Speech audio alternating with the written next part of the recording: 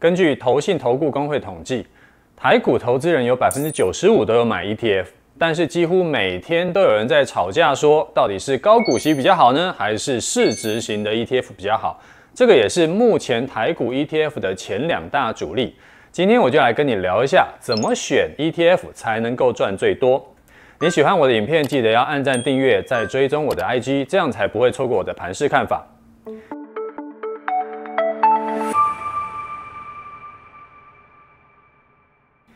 嗨，大家好，我是楚狂人。去年高股息 ETF 的绩效突然往上喷出，本来大量长期持有的是稳定配息的电脑周边股票，摇身一变变成 AI 大标股。二零二三年跟着辉达起飞啊，第一棒受惠的呢就是零零五六跟零零八七八，正好遇上了台积电，它还在努力的去库存，加上二零二二年股债双杀，导致元气大伤。所以 ETF 的投资主流跟投信主要的发行，它会变成高股息 ETF 满大街在跑。不过进入二零二四年以后，AI 社会族群终于轮到了台积电。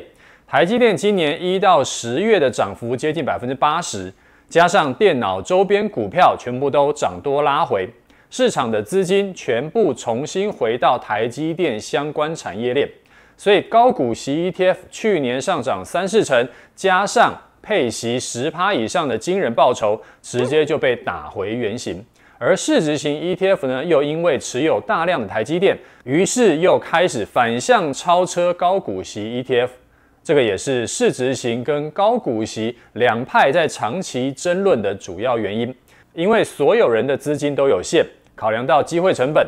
当然会想要把钱都投在绩效最强的 ETF 上面，也变成高股息跟市值型 ETF 一直都是二选一。如果你运气好，买对了就有高报酬；选错了，可能要套牢一年以上。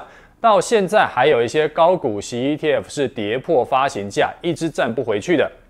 其实两者就像是个股投资一样，市值型的 ETF 就像成长股的股性，它是高成长低配息。而高股息 ETF 的股性就很像是牛皮股，每年呢我就稳定的给你配息，但是偶尔会有资金涌入拉抬，牛皮股也有可能飞上天。两种 ETF 的本质跟运作啊，它完全是不同策略。如果你是退休族，或者是你本来就是富人，那当然各半买会没有什么问题，反正本多终胜嘛，慢慢买，慢慢看。但是小资族很多时候他只能二选一。而且选错的机会成本更高，因为资金小，所以分散投资意义也不大。投资绩效不止完全拉不起来，还有可能因为乱买而增加风险。这就变成说，大多数人投资 ETF 的最大痛点。所以我今天要来提供一个解法给你。首先要说的是，大家不管是选高股息还是市值型。通常拿到配息就应该要继续再投入进去，而且定期定额也会买一样的 ETF，希望可以加速复利去滚雪球嘛。但是这边我会建议你调整一下你的投资方式，做法是呢，你先买高股息，然后再把配息拿去买市值型的 ETF，这样子你就有机会可以一鱼两吃了啊，顺便你可以累积你的实战经验。简单来说，因为一般上班族的本金都有限，每个月可以投资的资金不会太多，所以干脆就全部先 all in 在高股息 ETF，反正股息会先拿到，而且也会拿到的比较多啊。就算是左手换右手，其实也没有关系。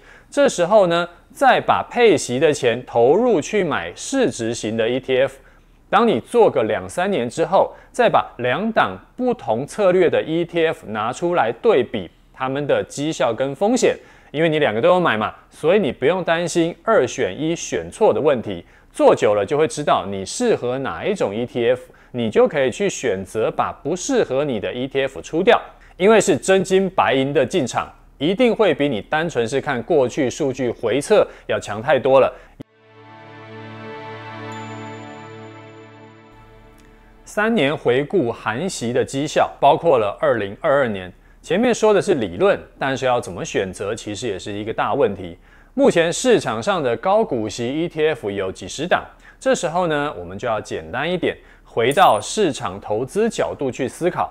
买高股息 ETF 当然就要挑绩效排前几名的。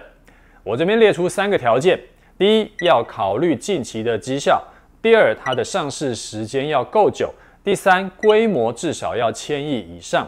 符合条件的有三档，分别是零零八七八、零零五六跟零零七一三。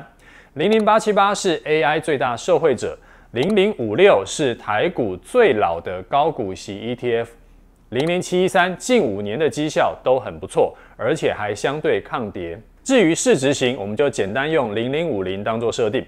我们分别用这三档高股息来试算二零二二年至今的绩效。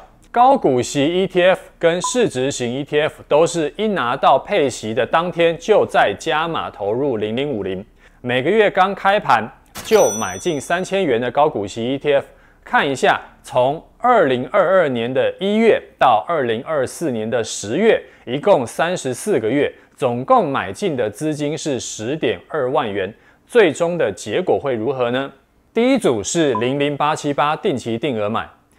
既配息的股息全部都投入到买零零五零，总共可以累积五千两百八十九股的零零八七八，市值是十二点二万元。另外零零五零呢，也可以买到三百一十五股，市值有六点一八万元，合计总市值是十八点四万元。三年不到的总报酬来到了百分之八十点四八趴，这个成效其实还蛮不错的。那第二组是零零五六定期定额买。季配息的股息全部也都是投到零零五零零零五六，总共可以累积三一八八股，市值是十二万元。零零五零可以买到三百五十股，市值是六点九万元，合计总市值是接近十九万元。同期总报酬率来到了八十五点八五趴，绩效更漂亮。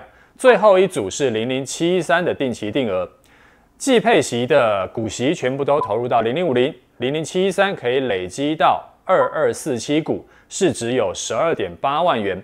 零零五零呢，则可以买到四百二十七股，总市值是八点四万元，合计高达二十一点二万元。投资报酬率是超过一倍的一百零八点零八趴。从市值来看，三档高股息都有十二万的市值，高于本金的十点二万元，所以都没有套牢，是有赚钱的。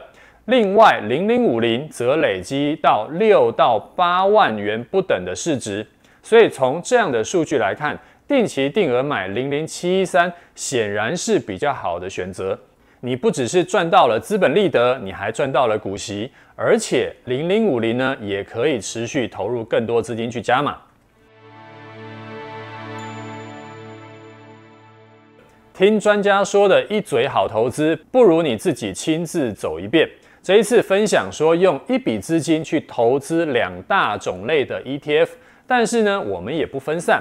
如果买零零七一三，再拿股息投入市值型 ETF，零零五零可以滚出来八万多的市值，就非常接近你本金投入的十万块钱。这个就是一鱼两吃的最大效益，而且你不用担心会选错 ETF，搞到你遗憾终生，多好。我是主狂人，看完影片有什么想法，欢迎在下面留言给我。我们下次见，拜拜。